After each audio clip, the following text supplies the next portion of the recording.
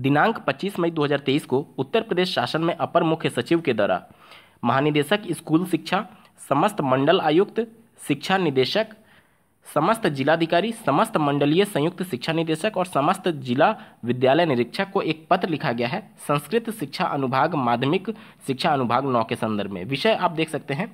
अशासकीय सहायता प्राप्त संस्कृत माध्यमिक विद्यालयों एवं राजकीय संस्कृत विद्यालयों में शैक्षणिक सत्र 2023-24 एवं 2024-25 ग्रीष्मकाल की अवधि को छोड़ करके अथवा नियमित चयनित शिक्षकों के आने तक, जो भी पहले हो, नितांत अस्थायी रूप से मानदेय पर शिक्षकों की व्यवस्था किए जाने के संबंध में।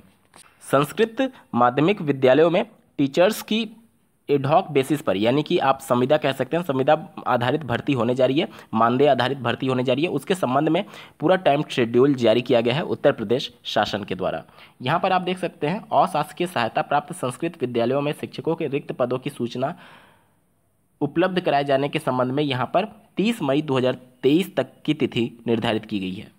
3 जून 2023 को समाचार पत्रों में ये विज्ञापन फॉर्मेट के तौर पर प्रस्तुत कर दिया जाएगा और 19 जून 2023 तक आवेदन पत्र प्राप्त करने की अंतिम तिथि तथा उसकी छाया प्रति जिला विद्यालय निरीक्षक को ईमेल आईडी पर भेजने की होगी। इसके अलावा 24 जून 2023 तक आवेदन पत्रों की स्क्रूटनी की जाएगी।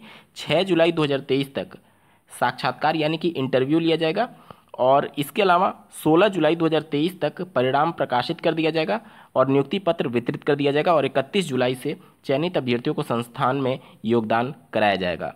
तो ये एक सिर्फ़ इंटरव्यू बेस वैकेंसी है, जिसमें आप इन विद्यालयों में एडहॉक बेसिस पर सर्विस दे सकते हैं। इस वीडियो को देखने के लिए आपका बहुत बहुत धन्यवाद। भगवान करे आपका दिन शुभ हो।